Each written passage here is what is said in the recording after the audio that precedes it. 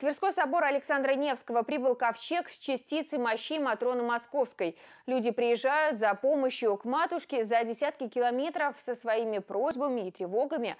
Поток верующих не иссякает и сегодня.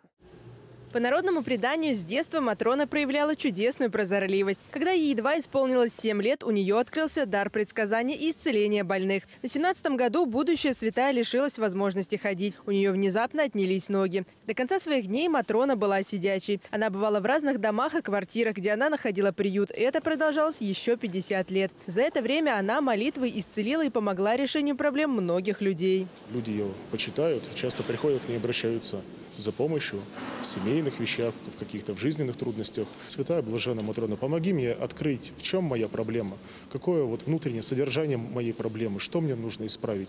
Вот тогда, как в дополнение к исканиям Бога, мы и получаем просимо.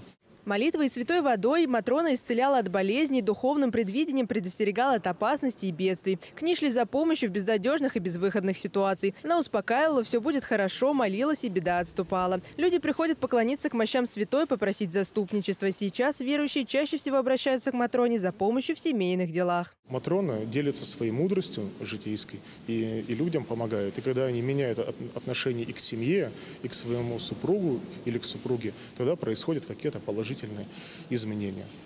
По установленным правилам к мощам следует прикладывать иконку Матрона, головной платок или крестик. Также жители всегда по традиции приносят цветы. Подарок Матронушке нужно нести от чистого сердца с верой. И не имеет значения, будут это полевые ромашки или шикарные орхидеи. Главное, чтобы число цветов было нечетным.